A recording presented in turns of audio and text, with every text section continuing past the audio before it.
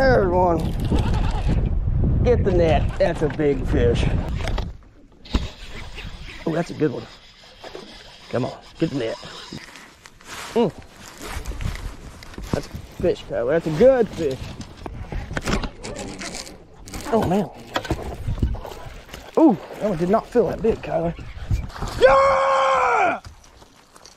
Boom, baby! Yeah! Welcome back to the channel. Today I'm going to do another breakdown of the Harris chain and I'm going to do another one of this um, ditches because the first one was so successful on Lake Harris. It's already got a lot of views just being up for a couple days. I've had a lot of responses to it, a lot of positive responses to it. So I want to do another breakdown. I'm going to do this breakdown on ditches in Lake Dora that we fished down there in the team championship. Um, before I get started, if you're new to it, watching the channel, um, if you would, just because, um, become a subscriber. Also, like the video if you would. If you have any questions, um, just put it in the comments and I'll get back to you. Or you can look me up on Facebook as well and message me, and I'll message you right back. okay, so let's jump into this here. So Lake Dora, if you guys are not familiar with the Harris Chain of Lakes, Lake Dora is one of the eight lakes on the Harris Chain of Lakes in Central Florida. The Harris Chain of Lakes is around 30 minutes to an hour northwest of Orlando, depending on which lake you're going to.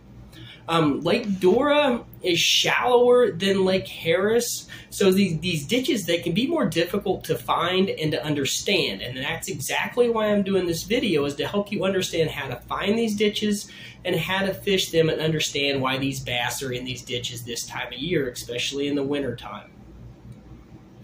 Go down here through my notes, sorry. Um, here you will see the Harris Chain of Lakes and exactly which lake is Lake Dora. All the eight lakes are connected by water and accessible by boat. Most of them are connected by a river or man-made canals or just naturally connected with the water. So next, this is Lake Dora you're going to see here in this picture. You're also going to see Lake Beauclair, which is to the south but I will cover Lake Beauclair in another video. This one is just for Lake Dora specifically. So now in this next picture, this is a picture directly from my Lowrance unit, and this was the waypoints from the 2023 Bassmaster Team Championship practice the week of December. Uh, the first week of December was actually the second day of practice for us that we put into Lake Dora. You will see four different areas circled here in red, and that is the exact waypoints that I had. There is also an area waypoints marking grass and some shell beds, but we didn't catch a fish in that area off to the south down there. You will see multiple waypoints in some of these areas. And that was from first. I idled over these areas looking for grass, looking for shell beds, looking for bass, and also looking for the ditches. The side imaging came in very big there for me to do this because it saves you a lot of time. I mean, you can drop your trolling motor, you can fish there, but there's not really many um, much point really fishing these areas if there, you don't find anything there. So it saves a lot of time just to idle over them. Even if you just got down imaging, idle over the edges of that grass and see if you can find any grass. The I say that the edges of the Kissimmee grass there, are lily pads are outside the docks there, and look for the submerged grass. And when I talk about submerged grass, I'll get into that here in a minute, and I'll show you guys. So what I'm mainly looking for, I'm idling over these areas, is grass. In this specific case, is what we were catching them on. The water temps were in the high 60s and low 70s. I had fished some shell beds the day before in Lake Harris and had little success on them, and there wasn't no fish really around those beds.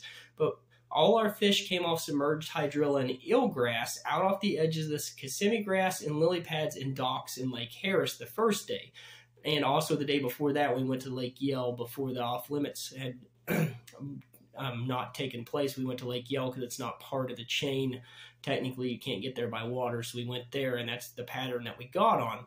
Shell beds, though, are also effective on these points and around the ditches. Um, in the case, in this case, though, I was looking for grass, but those shell beds will be more effective when the water drops down into your 60s and higher 50s, which the tournament was actually won on shell beds in Carlton. That was because the water temp had actually dropped during the tournament. It got down to that right water temperature with me not catching anything on the shell beds, I did not have faith in that because I haven't really ever fished too many shell beds in my life, so I just stuck with what I knew and where we were catching the fish. Now, when I was speaking of the grass, I was mainly speaking of hydrilla. That was the main grass that the bass were relating to. But and here's a picture of the eel or this hydrilla you're going to be looking for. This is what a hydrilla looks like.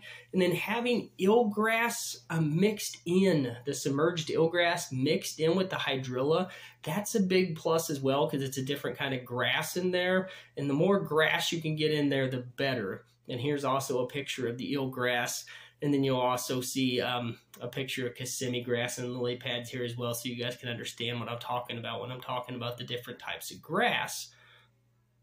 Um, like I said, also finding the Kissimmee grass and lily pads up from the bank from these ditches and this offshore grass is even better because they like to move up and out during these staging times, especially pre-spawn, um, post-spawn. They'll move in and out of these areas Plus, it's also deeper water, so if the water gets colder, they can pull out into these ditches on them, and then they can pull up and feed quicker, and they don't have far to go to do that into that shallow water.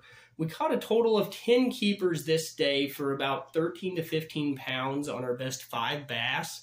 We was catching them primarily on a 2K jig subblade, which is a bladed jig um, similar to a chatterbait. We was throwing mainly a white color, and for the trailer, we was using a Big Hammer Lures 3.5 inch in a white color called Pearly Gates as the trailer.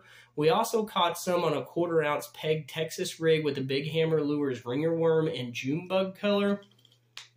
Anybody that uh, goes to Florida, if you're not aware, June bug is very effective um, anywhere I have been in Florida anyway.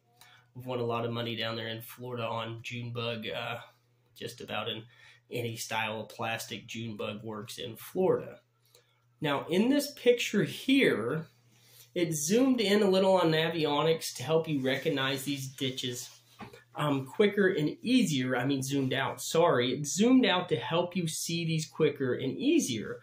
Here is the dark blue is shallower water and the light blue is going to be the deeper water. And the red here is kind of highlighting where that deeper water meets that shallower water. And you look at the light, lighter blue areas highlighted in red and how it creates a point. You see how it comes up to a point there on each of those sections? This is deeper water coming into that shallower water up there closer to that Kissimmee grass. The only one that doesn't look like this is number three, and it is more difficult and was our best area. And I'm guessing it was the best area because it didn't stand out as well until you actually zoomed in on your Navionics, which you're going to see here later. Now let's get into area number one on the map here. Let's break it down in each of these four areas and what you're looking for and why they are so effective. The red, this shows the deeper water in the ditch coming into the shallower water. This basically shows your ditch and how it, it doesn't really come up. That's just how I'm explaining it. But technically your ditch it drops out into the deeper water. But it runs up there. You can see where it stays deeper running up into the bank. then the red, that is actually a point that comes out between those two ditches. And these points are very that's something to really, really look for and very crucial when looking at these ditches. If it just comes up and there's nothing there or any points, we found out it wasn't as well. So those points, they were holding really good on those points. That's because they can move up quickly on those points. And anywhere around the country, I've found fish love to stage up on points, especially wintertime, pre-spawn, post-spawn, summertime, pretty much all year round. Points are good just about everywhere. Then the yellow, these are the areas to look for that submerged grass, whether it be the hydrilla, the eelgrass, or even hard spots like um, shell beds. These are the areas to look for. We caught three keepers from this area, and that was just fishing fast through all this stuff because it was practice. We weren't, we were just covering water, not moving slow, catching a fish, um, shaking some off, not really trying to hook into them, just trying to see what size we had in these areas and how many fish they were holding after you look over that picture there for a minute and kind of study it, I'll go on to the second area here. Okay, guys, now on to the second area. First, we're going to see a breakdown here of the ditch come up in red. And this will be the first ditch. And then now, in the second picture here, you're going to see a second ditch come off over to the left. And then next, you're going to see a third ditch come off a little further to the left. After you look at the ditches there and how they come up, um, well, they don't really come up. They actually come, they would be coming out um, from the bank when they drop off and then they go run out into the ditch. But the way I'm explaining it, it's coming up into the ditch so you guys can kind of understand it better looking at it this way. Now the green, you're going to see the green pop up on the screen. These, this green represents points coming out into the ditch. You have a more defined point off to the right and then a smaller point between the ditch and then lastly, you have a stair step point coming out all the way into the left or all the way to the left between the ditches on the left. Yellow, you will see the yellow areas, and these are the yellow, uh, the areas to look for that offshore grass, that hydrilla and that eel grass. And then also, if there's not grass there, um, shell beds. If you see shell beds on that with your electronics, that also holds fish. But in this case, we're looking mainly for the grass um, on the drop offs and the ditches here. Now, lastly, if this works properly, you will see fish symbols. And hopefully this comes up. I'm going to try some new stuff here with this. I'm going to see all these fish symbols show up to kind of show you guys how these fish and where they're going to set up on this stuff so you guys can get a better idea how the bass set up and trans transition around these areas. So I'll let you um, look that over for a minute and hopefully that all works out with that and I can get more into that with some other images if I can get out how to figure out how to do that exactly. Now, the third area. Now, remember how I told you when we was zoomed out that this one didn't show um, much of a ditch here, didn't really show it really being a ditch. so here is the picture zoomed in and in red is the ditch and 10 to 12 foot of water there is more of like a hole right there. And that ditch once you zoom in, you can see these ditches better here. Next is the ditch coming up into the bank between the docks out of that deeper hole right there. And then off to the left here, you can also see a ditch coming out as well. And then if you look further to the left, you will see a third ditch coming into the bank right there as well.